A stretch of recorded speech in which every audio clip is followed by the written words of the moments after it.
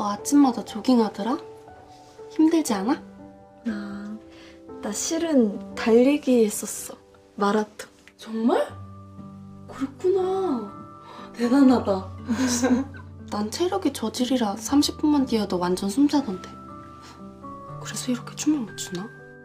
에이, 춤은 나도 못 추는 걸 뭐. 난뭐 거의 로봇? 그래도 넌 애들이 노래 되게 잘한다던데? 그럼 뭐해? 첫 미션엔 노래가 없는 걸. 혼자 연습은 한다고 하는데 대체 뭐가 문제인지도 모르겠고 멘붕이야 진짜. 그럼 우리 내일부턴 같이 연습해볼래? 정말? 좋아.